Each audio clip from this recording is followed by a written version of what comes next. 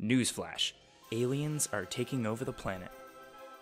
No, seriously, aliens are taking over the world of science and pop culture. 2017 was definitely the year of the alien. But the weirdest story of them all was a star named Tabby, whose bizarre blinking can't be explained.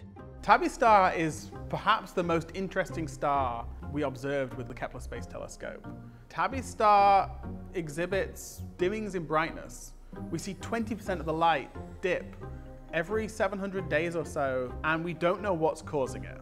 Normally, scientists see a 1% flux in light from a star when a planet crosses in front of it.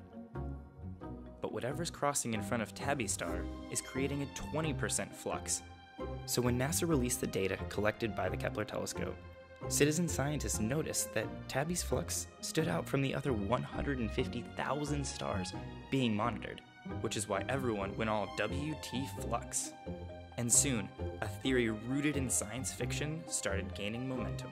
My name is Val Peter Mongilardi. I'm the author of Next to the Gods, science fiction series. And four years ago, I predicted how a Dyson sphere might behave exactly the way Tabby Star appears to be behaving today. Before we go any further, let's talk Dyson spheres. They're believed to be alien megastructures built around a star to capture energy.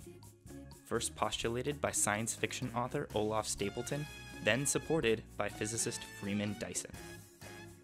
All right, Raul, go ahead. Essentially, something round and artificial is surrounding the solar system in order to absorb unlimited power.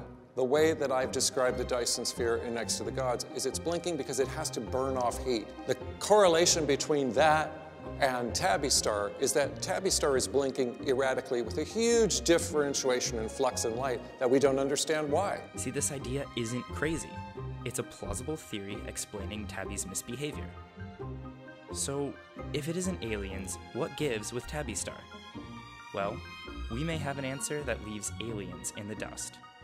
When we see these dips, the star gets redder. This says to us that whatever's blocking is absorbing a lot of the blue light. And we know from physics that the kinds of things that can do this is dust. Dust, a giant cloud of space dust bigger than we've ever seen and only visible with infrared telescopes, could be passing in front of Tabby's star and capturing our imagination.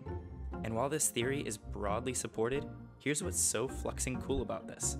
Our theories, aliens included, help move NASA missions forward to get real answers.